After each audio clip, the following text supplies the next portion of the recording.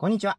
今回は、カターレ富山のホームゲーム、愛媛 FC 戦です。前節、アウェーで長野に敗れ、2位から5位に後退したカターレですが、もう一度良い流れを作るためにも、今日は大事な試合です。今日の対戦相手は、現在首位を独走する愛媛 FC。前半戦の対戦では、2点リードから逆転され、敗れているので、何としてもリベンジをしてほしい。簡単ではない試合ですが、ここで勝てば、再び浮上のきっかけをつかめるはず。得意のホームゲーム、カターレの選手が戦いやすい環境を作るべく、全力で応援していきたいと思います。それでは、スタジアムへ向かいます。さあ行くぞライカ君です。イオカンタと、なぜかシカッチェと、青足の、青いアシト選手ですね。愛媛 FC マスコットのイオカンタ君です。こんにちは。前半戦、僕愛媛行った時も実は取らせてもらったんですが、その時は負けたので今日は勝たせてください。首だけ動くんですね。面白い。はい、チーズ。カターレ富山をサポートする会のブースがありました。11年前にみんなで資金を集めて作ったゴールネットですが、かなり老朽化が目立ってきました。今日の試合とホーム沼津戦、ホーム岐阜戦で募金活動を予定しています。皆さんご協力をお願いします。募金に参加された方はデザインの投票にも参加することができます。では、微力ながら協力をさせていただきます。ありがとうございます。今日は富山グラウジーズさんがブースを出されています。先々週に引き続きフリースローにチャレンジしたいと思います。意気込みお願いします。意気込み、意気込み。まあ、1本でも入れれればなと思います。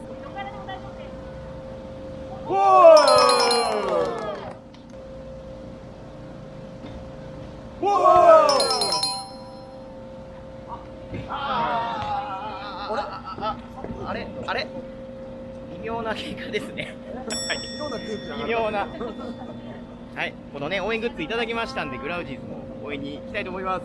今日はスタジアムの中から選手のバスを迎え入れたいと思います。やられたらやり返せ。前半戦2対0から逆転負けの悔しさを今日晴らしましょう。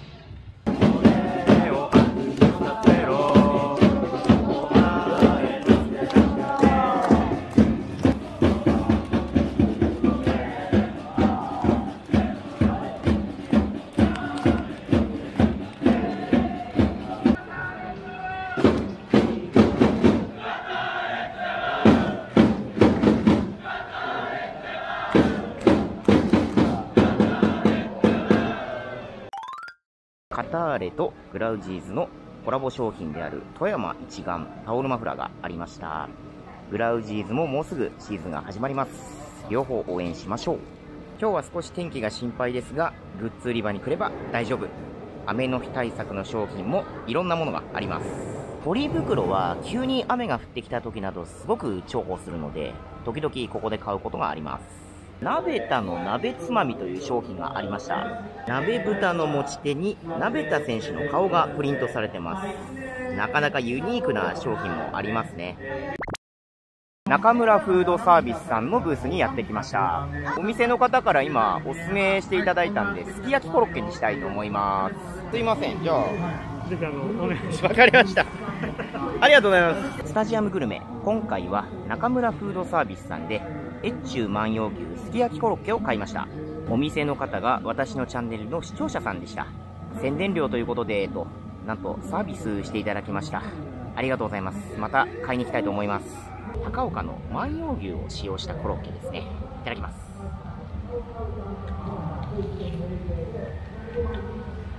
うん。うまい。断面はこんな感じですね。じゃがいもと牛肉がぎっしりと詰まっています。じゃがいものふわふわ感とすき焼きの甘みが混ざって、とってもいいですね。外側の衣もサクサク感があって、これはおやつ感覚で何個でも食べたくなるコロッケだなと思いました。美味しいです。今日は久々にこの幕を出しています。昇格と。2年前の岩手戦ぶりに出てきました。この目標に向かって残り試合、全力で応援していきたいと思います。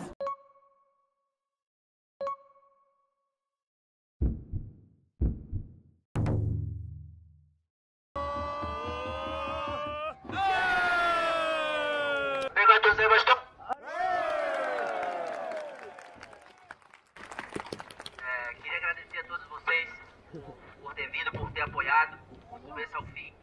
Vocês são muito importantes para nós, o apoio de vocês é muito importante. Então, muito obrigado por hoje, muito obrigado pelo apoio de vocês.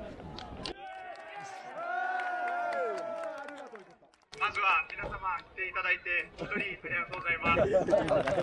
サポーターの皆様はあの本当あのいつも力になれますのであの立ち上がりから最後まで応援してくれたので本当にありがとうございました。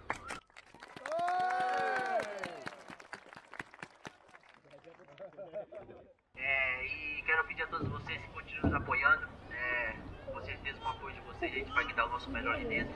Nós vamos conseguir nosso objetivo, que é, que é subir para Z1 e e ser campeão.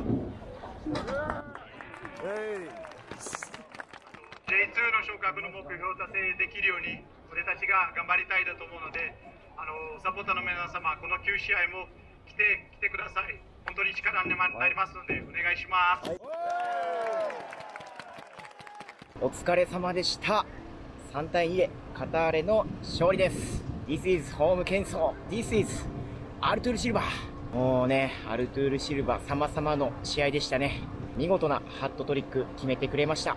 カターレとしてハットトリックが出たのは J2 時代に小手口拓也選手が達成して以来だそうで、しばらくね、見てなくて、今年は相手にハットトリックをたくさん決められて、しんどいものを見させられ続けてきたんですが、今日は良かったですね。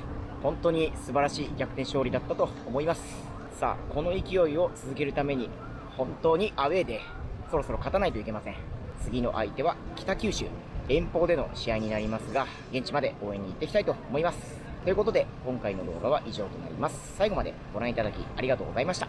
また次の動画でお会いしましょう。さようなら。